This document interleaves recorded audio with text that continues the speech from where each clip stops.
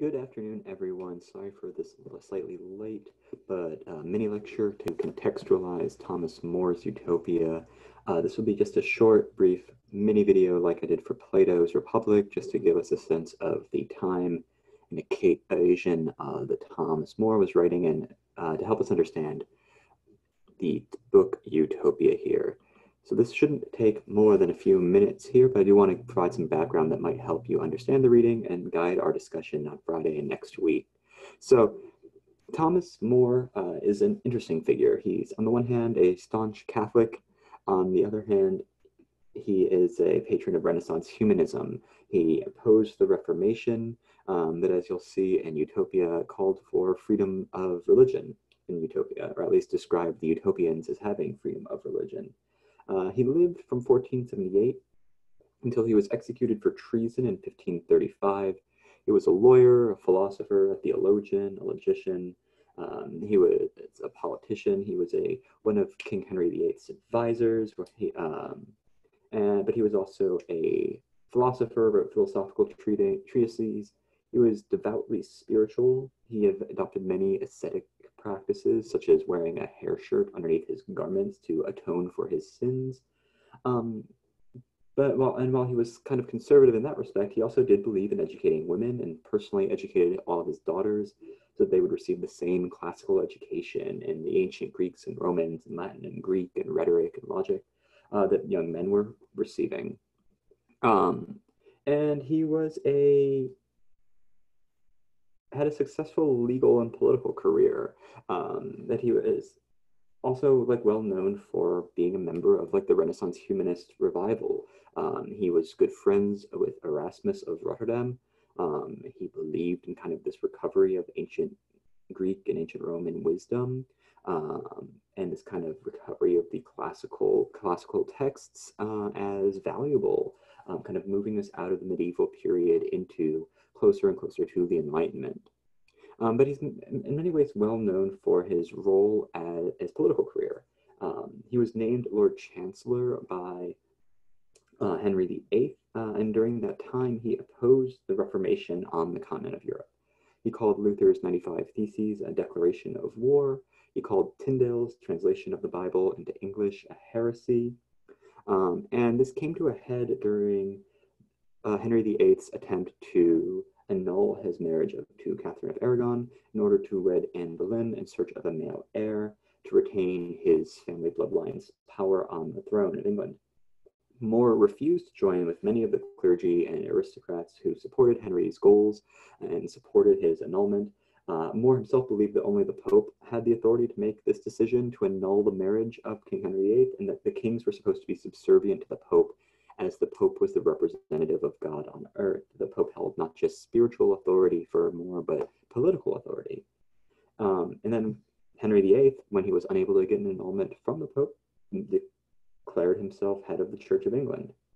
And the bishops of the uh, Convocation of Canterbury, uh, the bishops of the Church of England, agreed and called on all clergy to sign an oath of supremacy. More refused and then resigned as Lord Chancellor. More also refused to attend the wedding of Henry and Boleyn. And More also refused to sign the Oath of Succession, which declared the Boleyn's children to be the heirs to the throne, and repudiated the authority of the Pope uh, and when he refused to do this, he was indicted for treason. The jury found More guilty for treason by challenging the authority of the king over the Church of England, and he was executed on July 6, 1535, where his last words were reported to have been, I am the king's good servant, but God's first. So despite this apparent conservatism, utopia is heralded as an important piece of humanism, and it's, as you'll see, it the text itself explicitly calls for a series of social and political reforms.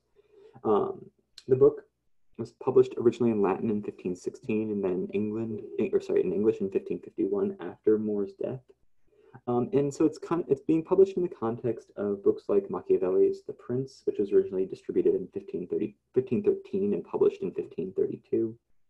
Uh, and in this early 16th century, uh, genre of princely literature or mirrors of princes. That these were advice books for princes and kings, uh, were popular genre. Um, so we can think of, on the one hand, More's book in this genre. But at the same time, there's also a lot of wordplay that kind of complicates our interpretation of More's utopia. Uh, we've already talked about the word utopia itself, which means non-place, or if you read the U as a EU, good place, this kind of bivalence between uh, what utopia even is supposed to mean. Uh, but the character who describes Utopia, the, who has returned from his voyages in the Atlantic Ocean to England to describe the wonderful constitution of the Utopians, uh, Raphael Hythloday, is another play on words. Uh, Thomas More is kind of showing off his knowledge of Greek. Uh, and if we translate this Hythloday from the uh, Greek, it, it, its name is purveyor of nonsense. Um, so it's hard to tell exactly what we're supposed to interpret from Hythloday's description of this island of utopia. You'll also notice in this book that um, More is both the author of the book and also a character in the dialogue. Um, and how are we supposed to, and how should we interpret these two different Mores? Um, because More, the author, is writing the words, obviously, that Raphael Hythloday is describing as this preferred constitution of the utopians that would solve many of the problems facing Europe. Um, but More, the character, doesn't seem to necessarily agree. So who should we take More, the real life person's actual voice to be? Is More, or is Hythloday's More's actual opinions, or is the character Thomas More in the narrative, in the dialogue, Thomas More, the real person's actual opinions? And so we kind of have a series of questions that I want you to think about while you're reading uh, More's Utopia. Is this supposed to be just an advice book for princes that that in describing this utopia, um, More is giving advice to princes on how they could stop some of the problems facing that he sees facing uh, kings in, in early modern Europe. Is this a blueprint? Is Thomas More providing an outline of an ideally just society when he describes the constitution of the utopians?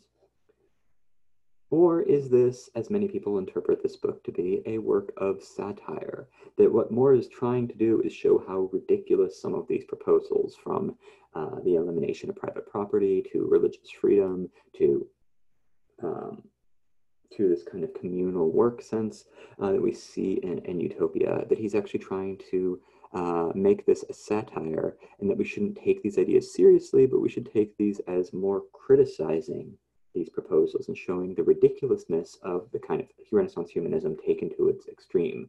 Um, the, the political theorist and histori intellectual historian Quentin Skinner calls this book the humanistic critique of humanism. So that's all I have for today, just to give you a little bit of background and some things to help you think, things to think about while reading uh, Utopia. We'll, we'll, I'll see you in class, next class, and we will hopefully dig into some of these interpretive and theoretical issues in more detail. Uh, I hope you enjoy the reading, and I'll see you next class.